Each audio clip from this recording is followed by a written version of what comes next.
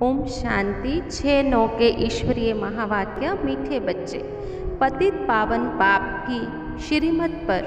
तुम पावन बनते हो, इसलिए तुम्हें पावन दुनिया की राजाई मिलती। अपनी मत पर पावन बनने वालों को कोई प्राप्ति नहीं होती। प्रश्न है, बच्चों को सर्विस पर विशेष किस बात का ध्यान रखना चाहिए?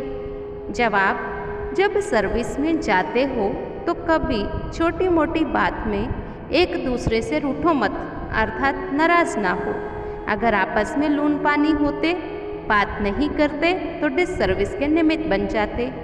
कई बच्चे तो बाप से भी रूठ जाते हैं, उल्टे कर्म करने लग पड़ते हैं। फिर ऐसे बच्चों की एडॉप्शन रद्द हो जाती है।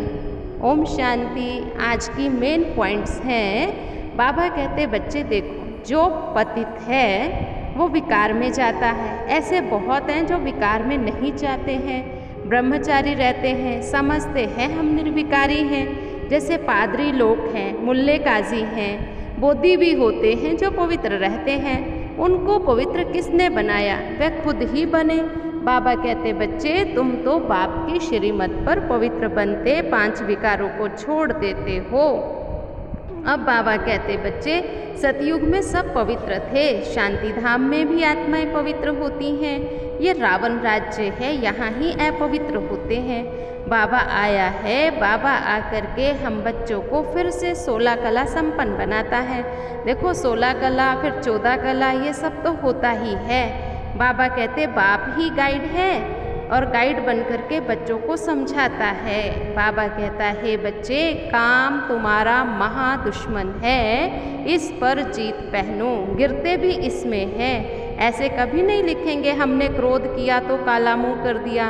काम के लिए ही लिखते हमने काला मुँह किया, गिर गया।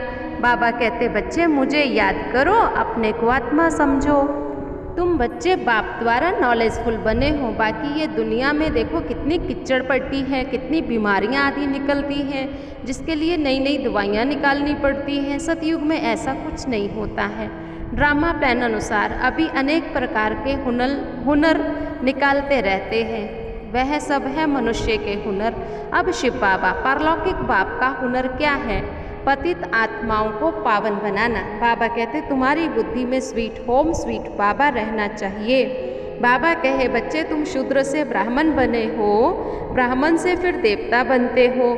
तुम्हें ही अभी बच्चों को ज्ञान मिलता है। जिस ज्ञान को सुनकर तुम सतयुग में जाते, तुम ब्रह्मा मुखवंशावली ब्राह्मण हो। और बाबा ने राजस्व, अश्वमेध, अविनाशी, रुद्र, गीता ज्ञान यज्ञ रचा है।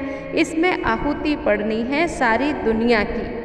बाबा कहते, बच्चे, अब तुम जितनी अविनाशी ज्ञान रत्नों से झोली भरेंगे, दूसरों को दान देंगे, उतना अच्छा है। कहते हैं, धन दिए, धन ना कूटे।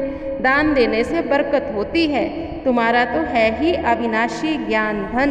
तुम्हें तो अच्छी रीति सुनना है। सुनते समय कोई कोई के कांद जैसे झूलते रहते हैं मतलब अच्छे से खुशी से सुनते हैं। कोई तो तवाई माफिक बैठते हैं, बाबा तो इतनी अच्छी अच्छी पॉइंट सुनाते हैं तो खुशी तो होनी चाहिए। अच्छा मीठे मीठे सिक्की लधे बच्चों प्रति माता पिता बाप दादा का याद प्यार, गुड मॉर्निंग। धारणा के लिए मुख्य सार। बाबा ने कहा, बुद्धि रूपी झोली में अविनाशी ज्ञान रतन भरपूर कर दान करना है। दान करने से ही खुशी रहेगी। ज्ञान धन बढ़ता जाएगा। कभी भी आपस में बिगड़कर लून पानी नहीं होना, बहुत प्यार से बाप को याद करना और मुरली सुननी है, तवाई नहीं बनना है। आज का वरदान, सदा पुण्य का खाता जमा करने और कराने वाले मास्टर शिक्षक भव। हम मास्टर शिक्षक हैं। मास्टर कहने से बाप स्वतः याद आता है। बनाने वाले की याद आने से स्वयं निमित्त हूँ। ये स्वतः समृद्धि में आ जाता। विशेष समृद्धि रहे कि हम पुण्य आत्मा हैं। पुण्य का खाता जमा करना और कराना यही विशेष सेवा है। पुण्य आत्मा कभी पाप का एक परसेंट संकल्प मात्र भी नहीं कर सकती। मास्टर शिक्षक माना सदा पुण्य का खाता जमा करने और कराने वाले पाप समान। स्लोगन है, संगठन के महत्व को जानने वाले। संगठन में ही स्वयं की सेफ्टी का अनुभव करते हैं। आज का स्वमान रहेगा, मैं मास्टर शिक्षक हूँ। ओम शांति।